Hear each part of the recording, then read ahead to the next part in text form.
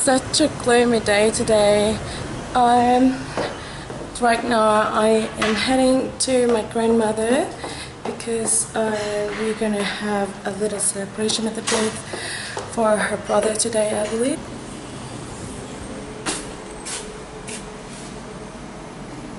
Oh my god, what is going on over here?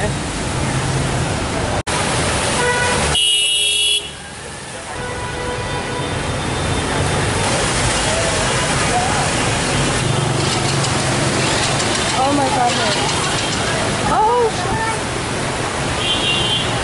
So I was supposed to cross over there to go to my grandmother, but it's it's all flooded. What am I gonna do? I remember last night rained a lot, but I wouldn't expect that it would be this much. So I decided to take another road instead, but uh, actually I don't really know how to get there. But look at this, is, this is really crazy.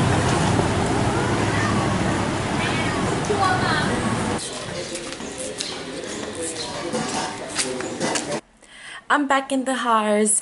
I know that my vlog today is super super short and actually I didn't even plan to make it just because I know that today I had to do a lot of things so literally I was downstairs and I just came back to grab my camera to show you how crazy it was today with all the floody road. That was so insane.